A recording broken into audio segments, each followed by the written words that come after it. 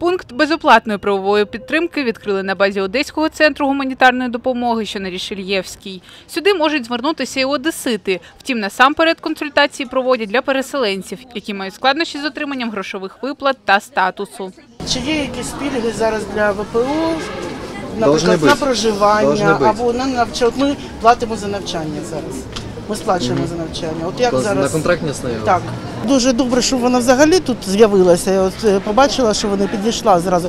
Тому що все одно звідки потрібно починати. Ось вони мені дали напрямок, дали телефони, куди я можу потім позвонити і вже починати е, шукати те, що мені питання вирішувати ті, які мені потрібні Дуже це важко, особливо коли ти тільки приїхав, немає ні житла, нічого немає. І оце тут проблема. У нас такі були. Ірина Майстренко, переселенка з Сєвєродонецька. Чотири місяці вона та її дитина не можуть отримати статус внутрішньо переміщеної особи. Конечно, рассчитывали на выплаты от государства. Пока мама подавала заявку через соцзащиту, справку она в мае получила, выплат до сих пор еще никаких не было. А свою заявку и ребенка я подавала через ДИЮ 19 апреля вечером, 30 слетела эта заявка. В техподдержке обещали, все мы восстановим. Она действительно потом в обработке опять была, но 4 месяца прошло и до сих пор она в обработке, то есть никаких справок ВПО статуса ВПО мы не получили.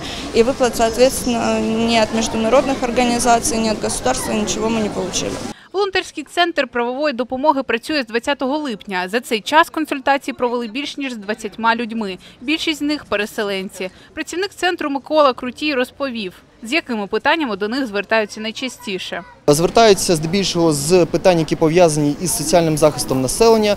Е, Здебільшого, точніше, зокрема, е, це питання, які стосуються оплати житлово-комунальних послуг, це стосується виплат щомісячної адресної допомоги внутрішньопереміщеним особам. І е, деякі люди звертаються за допомогою за питанням пошкодження та зруйнування майна на території, де ведуться активні бойові дії. Центр безкоштовної правової допомоги працює щодня, окрім вихідних, з 11 до 16 години. Влада Матвійчук, Владислава Гарбар. Новини на Суспільному. Одеса.